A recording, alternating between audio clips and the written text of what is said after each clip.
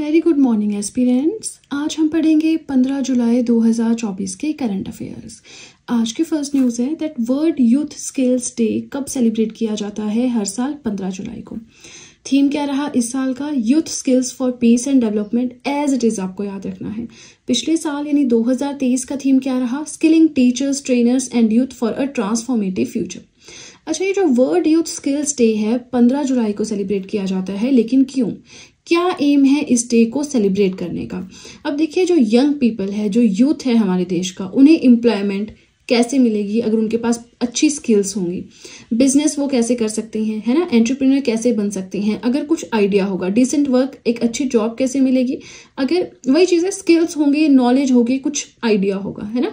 तो बस उसी चीज़ को एनकरेज करने के लिए हर साल हम world youth skills day celebrate करते हैं, ताकि यूथ को स्किल्स प्रोवाइड करवाई जा सके। और बहुत सारे ऐसे नेशनल लेवल पे एंड स्टेट लेवल पे प्रोग्राम्स चलाए जा रहे हैं, जहाँ पे फ्री ट्रेनिंग प्रोवाइड करवाई जाती है अलग अलग फील्ड्स की राइट हम बहुत सारे पढ़ते भी हैं, जैसे जैसे न्यूज़ में चलता रहता है है ना?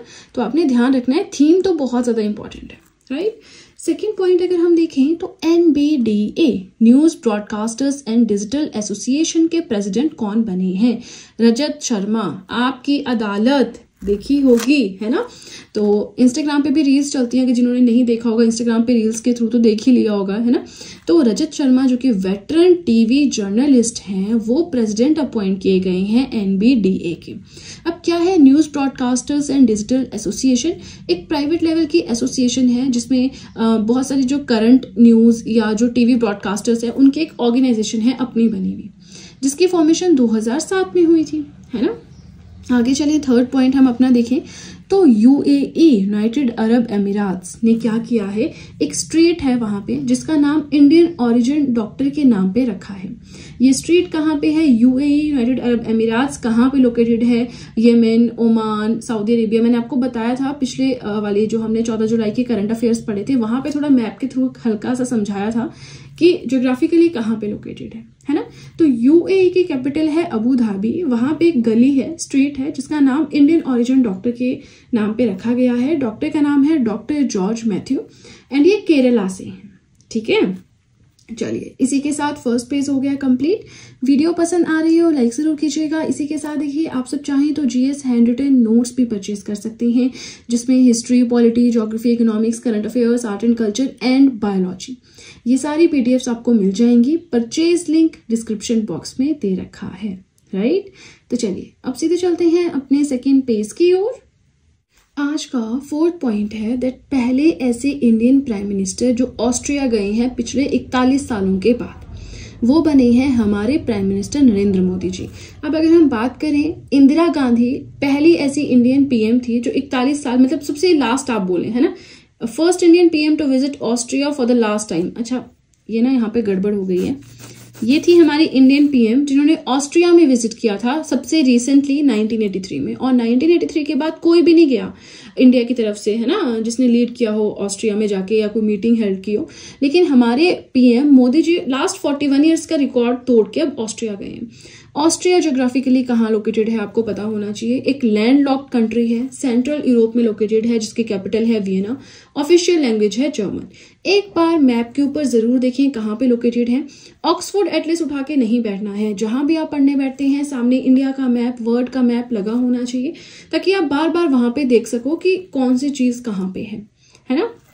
ना फिफ्थ पॉइंट हमारा आता है दैट जो फाइनेंस मिनिस्टर है राजस्थान की, ये मैंने शॉर्ट में लिखा था एफएम मतलब फाइनेंस मिनिस्टर कौन है? दिया कुमारी। उन्होंने प्रेजेंट किया है budget for the financial year 2025 total outlay यानी टोटल बजट का आउटले कितना है? 4.95 लाख करोड़ ठीक है? मतलब इतना पैसा राजस्थान में अलग अलग सेक्टर्स में लगाया जाएगा।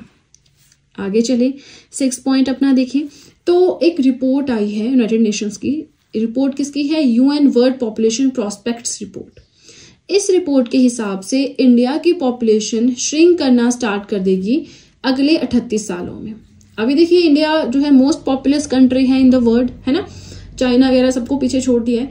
लेकिन अगले अठतीस सालों के बाद इंडिया की पॉपुलेशन काफ़ी हद तक श्रिंक होना शुरू हो जाएगी। ठीक है? और ये हो जाएगी 1.70 बिलियन तक दो हज़ार बासठ में। एंड ये जो श्रिंक होना है, दो हज़ार बासठ जैन जुलाई के आसपास जो है डिक्लाइन होना स्टार्ट हो जाएगा। अब देखिए फिक्स नहीं है कि सच में ऐसा होगा, लेकिन एक एस्टिमेट लगाया जाता है, बहुत सारे डेटा को एनालाइज करके। ठीक है? तो ये एक एस्टिमेट है ये। ऐसा नहीं कि पक्का पक्का अठतीस सालों के बाद होगा बट कुछ फ़र्क, कुछ डिक्लाइन आपको देखने को मिल जाएगा। ठीक है ना? आगे चलें सेवन पॉइंट अपना देखें सो टेन परसेंट रिजर्वेशन अब से दी जाएगी जो अग्निवीर होंगे। अग्निवीर स्कीम हमने पढ़ी थी, जिस टाइम पे आई थी, है ना? पाँच साल के लिए जॉब उसके बाद रिटायरमेंट मिलेगी कैश मिलेगा, जो भी है।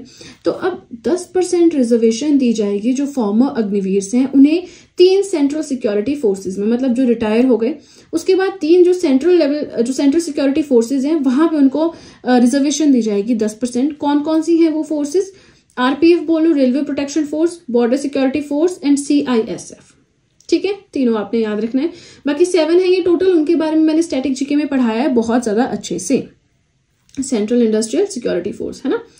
चलिए, इसी के साथ हमारा सेकेंड पेज भी हो गया कंप्लीट अगेन वीडियो पसंद आ रही हो लाइक ज़रूर कीजिएगा। इसी के साथ देखिए, आप सब चाहें तो मुझे इंस्टाग्राम पे फॉलो कर सकते हैं। आप सब चाहें तो मुझे टेलीग्राम अकाउंट पे ज्वाइन कर सकते हैं।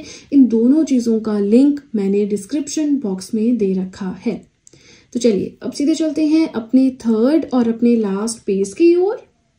आज का एट पॉइंट है दैट स्टेट गवर्नमेंट जिसने ये डिसाइड किया है कि वो एक बैन लगा देंगे, जो एनर्जी ड्रिंक्स मिलती है ना, जिसमें कैफीन कंटेंट बहुत ज़्यादा होता है तो ऐसी एनर्जी ड्रिंक्स की सेल पे बैन लगा देंगे स्कूल्स के रेडियस के 500 मीटर्स के एरिया में। तो किसने ये चीज़ डिक्लेयर की है डिसाइड की है अनाउंस की है? महाराष्ट्र गवर्नमेंट ने। एम क्या है? ताकि बच्चों की हेल्थ को थोड़ा सेफ़ गार्ड किया जा सके। कैफीन इनटेक लेके तो डेफिनेटली एनर्जी आती है। अगर आप कैफीन से रिलेटेड कोई चीज़ लो, नींद नहीं आती है ना? आपकी ब्रीदिंग इंक्रीज हो जाती है हार्ट रेट इंक्रीज हो जाता है फ़िज़िकल एनर्जी आपको बहुत ज़्यादा आ जाती है। तो इस चीज़ को रोकने के लिए कि हेल्थ इफ़ेक्ट ना रहे, जैसे हैं वैसे नॉर्मल रहे, महाराष्ट्र गवर्नमेंट ने डिसाइड किया है कि 500 मीटर के रेडियस में स्कूल्स के ऐसे एनर्जी ड्रिंक्स जिनमें हाई कैफीन कंटेंट होता है, उनकी सेल पे बैन लगा दिया जाएगा। ठीक है? नाइन पॉइंट हम अपना देखें, गुलबेकियन प्राइज 2024 ह्यूमैनिटी के लिए किसे दिया गया है? आंध्र प्रदेश का जो नेचुरल फ़ार्मिंग मॉडल है, उसे दिया गया है। अब देखिए, ये जो गुलबेकियन प्राइज है ना, ये अवार्ड है जो कि पोर्टुगल बेस्ड एक ऑर्गेनाइजेशन है, फाउंडेशन है, जिसके द्वारा बनाया गया है। फाउंडेशन का नाम है कोलोस्ट गुलबेकियन फाउंडेशन, और ये एनुअली हर साल दिया जाता है।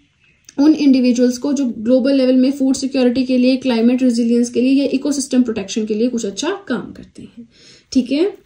अब देखिए, ये हमारा आज का लास्ट पॉइंट है एंड देन हमारी वीडियो हो जाएगी कंप्लीट सो टेंथ पॉइंट हमारा है that Muslim women are also entitled to seek alimony अच्छा एलिमनी समझते हैं डिवोर्स होता है तो महिलाओं को उनके हस्बैंड की तरफ़ से मंथली जो पैसा दिया जाता है और उसके अलावा एक हमसम अमाउंट एक बड़ा अमाउंट दिया जाता है है ना? तो बस वही ये चल भी रहा है ना आजकल के हाँ डिवोर्स ले रहे हैं, एक वो हार्दिक पांडे वाला देखा था, फिर बाद में पता चला वो तो पीआर स्ट्रेटेजी थी, है ना? तो बस वैसा है कि अब पहले मुस्लिम महिलाओं को ये नहीं मिलता था अधिकार, फिर एक किसी ने केस फ़ाइल किया तो उसके तहत ये डिसीज़न आया है कि जो मुस्लिम महिलाएँ हैं, उन्हें भी एलिमिनी मिलेगी। सुप्रीम कोर्ट का डिसीज़न है, इससे ऊपर आप कहीं नहीं जा सकते। अपेक्स जुडिशरी हमारा एक सिस्टम है है ना? अपेक्स लेवल का ये कोर्ट है, इससे ऊपर आप कहीं नहीं जा सकते। तो अंडर सेक्शन 125 था सीआरपीसी का है ना? तो अब इस चीज़ को रिप्लेस किसने किया है? जो भारतीय नागरिक सुरक्षा संहिता है 2023 इसने रिप्लेस किया है सीआरपीसी को। एक जुलाई को हमने पढ़ा था, तीन है इंडियन पैनल कोड को और सीआरपीसी एक और था, तीसरा। इन तीनों को रिप्लेस किया है, तीन नए जो है लॉ सिस्टम आए हैं उन्होंने। ठीक है? तो उसके तहत ये पॉइंट इंपॉर्टेंट है, ध्यान रखना है आपने राइट? इसी के साथ देखिए, हमारे आज के करंट अफेयर्स हो गए कंप्लीट वीडियो पसंद आए तो लाइक ज़रूर कीजिएगा। चैनल को ज़रूर सब्सक्राइब करें। बेल आइकन को प्रेस करें सो दैट मैं जैसे ही कोई वीडियो अपलोड करूँ, सबसे पहले नोटिफिकेशन आपके पास पहुँचे। प्लस जो भी आपके फ्रेंड्स हैं, जो भी गवर्नमेंट एग्ज़ाम्स के लिए प्रिपेयर कर रहे हैं, उनके साथ भी मेरे चैनल का लिंक ज़रूर शेयर करें so that in handwritten notes का उन्हें भी कुछ फ़ायदा हो सके। तो चलिए फ्रेंड्स आज के लिए इतना ही। अब हम मिलेंगे नेक्स्ट वीडियो में। So that's it and see you soon